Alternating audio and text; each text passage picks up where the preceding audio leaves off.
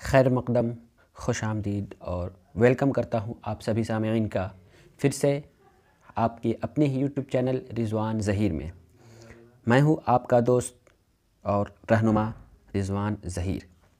आज मैं आप सबके लिए हाज़िर हूँ साल 2017 के BA distance mode entrance test में पूछे गए उमूमी उर्दू यानी जनरल उर्दू सवालात के।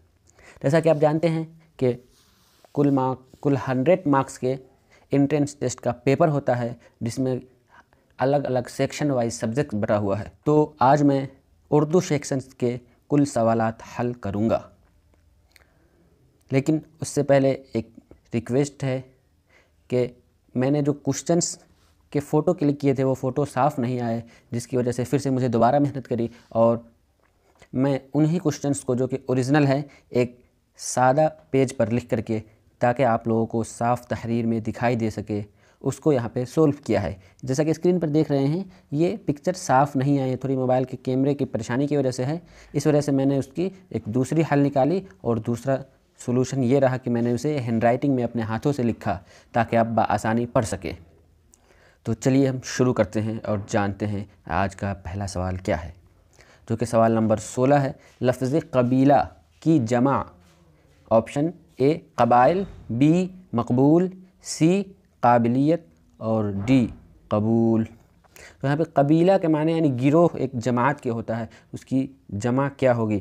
तो इसका सही जवाब है ऑप्शन ए, कबाइल। कबीला की जमा कबाइल होती हैं। हम अगले सवाल की तरफ़ बढ़ते हैं। लफ्ज़ तस्दीक की ज़िद क्या है? ऑप्शन पढ़ लेते हैं। ऑप्शन ए, तरदीद, बी, तकवीम, सी तकसीद और डी तकरीज़। यहाँ अब क्वेश्चन जो था, लफ्ज़ तस्दीक की ज़िद।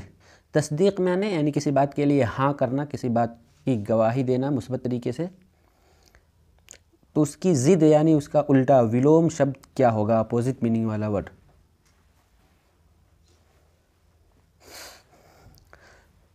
तो इसका ऑप्शन नंबर ए सही है, तरदीद, यानी तस्दीक की ज़िद, तरदीद होती है।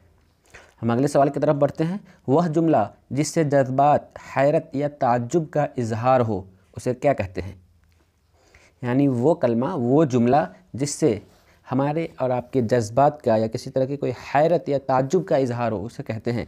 ऑप्शन देखते हैं। ऑप्शन ए, फुजाइया, बी, इस्तफ़ामिया, सी, बयानिया और डी, मुफरद।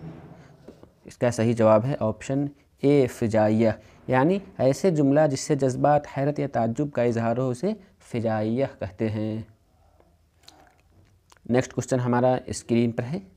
अब यहाँ से आप देख लीजिए कि ओरिजिनल क्वेश्चंस आ गए। जैसा कि स्क्रीन पर यहाँ मैं इसे जूम करके दिखा रहा हूँ कि B Ed distance mode entrance test March 2017 लिखा है।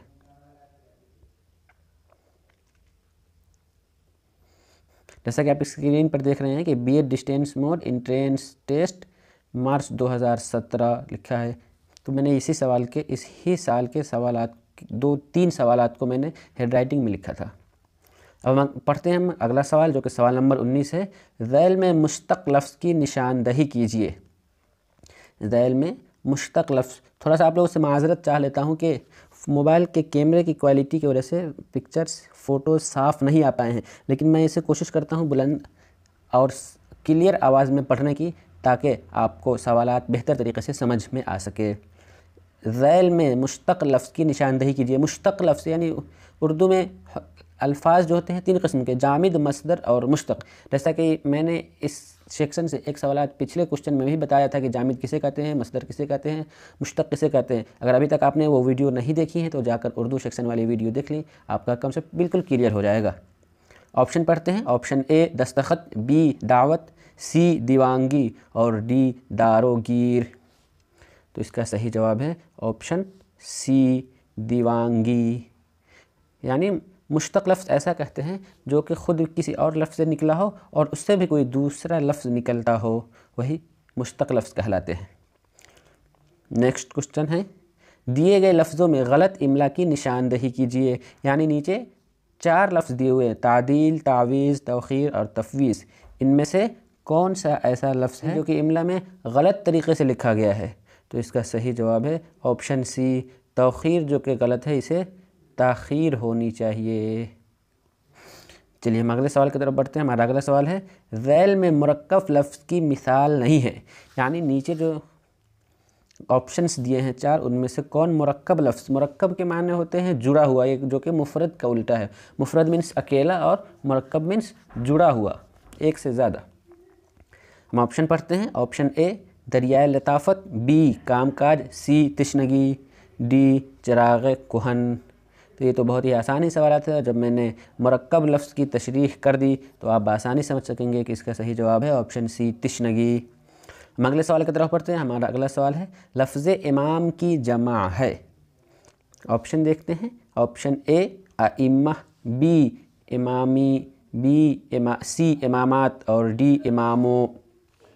तो इसका सही जवाब है ऑप्शन ए आइम्मा लफ्ज़ इमाम की जमा आइम्मा होते हैं। हम अगले सवाल की तरफ़ बढ़ते हैं। दिए गए जुमला में खाली जगह के लिए सही लफ्ज़ की निशानदही कीजिए।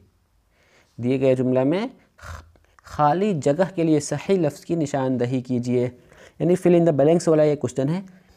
हम पढ़ते हैं इसे क्या है? डॉट डॉट डॉट करे इंसान तो क्या नहीं हो सकता? ऑप्शन ए मेहनत बी कोशिश सी मोहब्बत और डी सब्र। ये सवाल थोड़ा परेशान करने वाला है। जैसे ऑप्शन ए और बी इन दोनों में कन्फ्यूज़न लगता है कि मेहनत हो सकता है। मेहनत करे इंसान तो क्या नहीं हो सकता?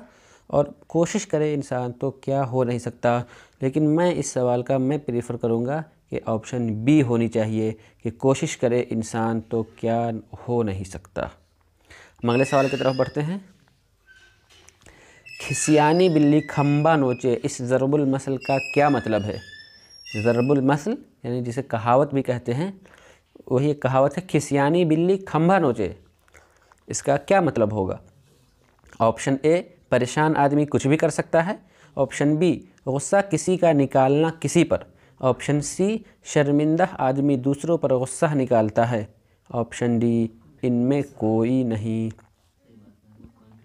तो इसका सही जवाब है ऑप्शन ए, परेशान आदमी कुछ भी कर सकता है। हम अगले सवाल की तरफ़ बढ़ते हैं। दर्ज झैल में सही ज़रबुलमसल है।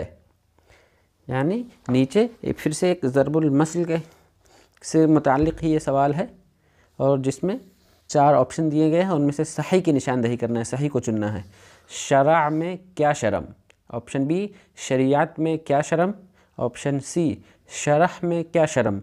और ऑप्शन डी, शरा में क्या खामी? तो ये सवाल भी थोड़ा सा परेशान कन है। जैसा कि ऑप्शन सी और डी ये दोनों तो बिल्कुल सही खारिज है, नहीं हो सकता, लेकिन ऑप्शन ए और बी में शरा में क्या शर्म और शरियात में क्या शर्म? तो इसका सही जवाब होगा ऑप्शन ए शरा में क्या शर्म? और ये ज़रबुलमसल उस वक्त इस्तेमाल किया जाता है कि जैसे कोई चीज़ पूछने में हमें कोई शर्म नहीं करनी चाहिए।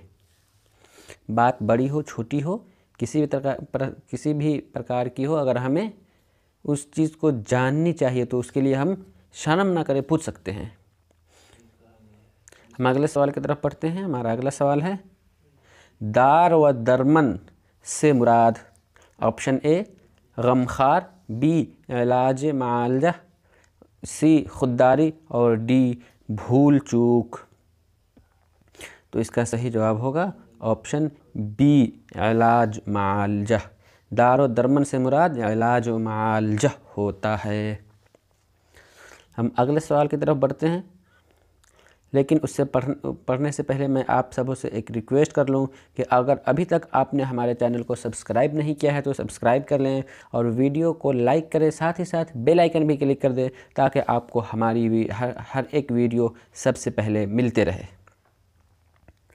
चलिए हम अगले सवाल की तरफ़ बढ़ते हैं, हम सवाल पढ़, पढ़ते हैं। लफ्ज़ गदा का मुतजाद क्या है? ऑप्शन ए काजी, बी, फ़कीर, सी, वज़ीर और डी, शाह।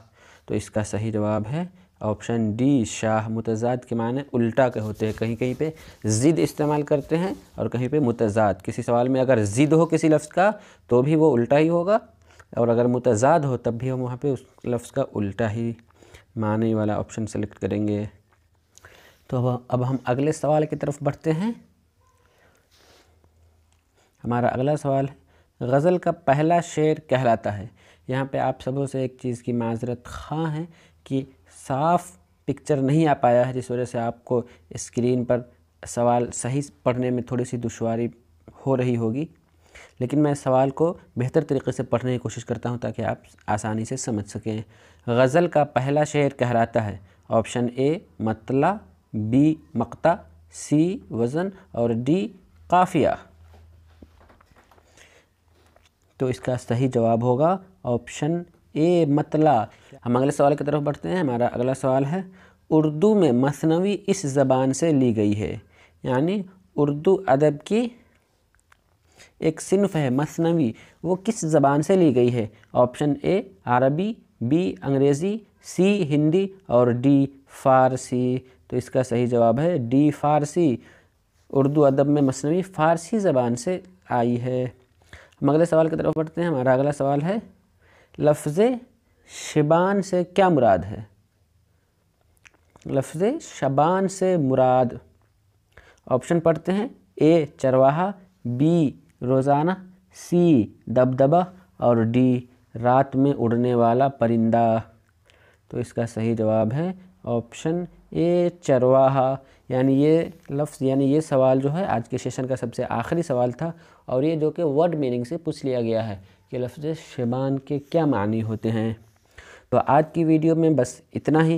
वीडियो समाप्त करने से पहले मैं आप सबों से एक रिक्वेस्ट कर लूँ कि अगर आपने अभी तक हमारे चैनल को सब्सक्राइब नहीं किया है तो सब्सक्राइब कर लें और साथ ही साथ बेल आइकन को भी दबा लें। साथ ही अगर आप किसी तरह की कोई और जानकारी चाहते हैं या आप सवालात में इस सेक्शन में किसी तरह की सुधार या तरमीम वगैरह की ज़रूरत महसूस करते हैं तो आप हमें फ़ीडबैक नीचे कमेंट में ज़रूर लिखें ताकि आपको अगली वीडियो में उससे सुधार मिल सके। चलिए दोस्तों तो आज की वीडियो में बस इतना ही। फिर मिलेंगे किसी और वीडियो में। तब तक के लिए दीजिए हमें इजाज़त। बाय, अल्लाह हाफिज़। सब्सक्राइब कीजिए हमारा यूट्यूब चैनल और बेल आइकन को प्रेस कीजिए। लेटेस्ट नॉलेजेबल वीडियो सबसे पहले पाने के लिए।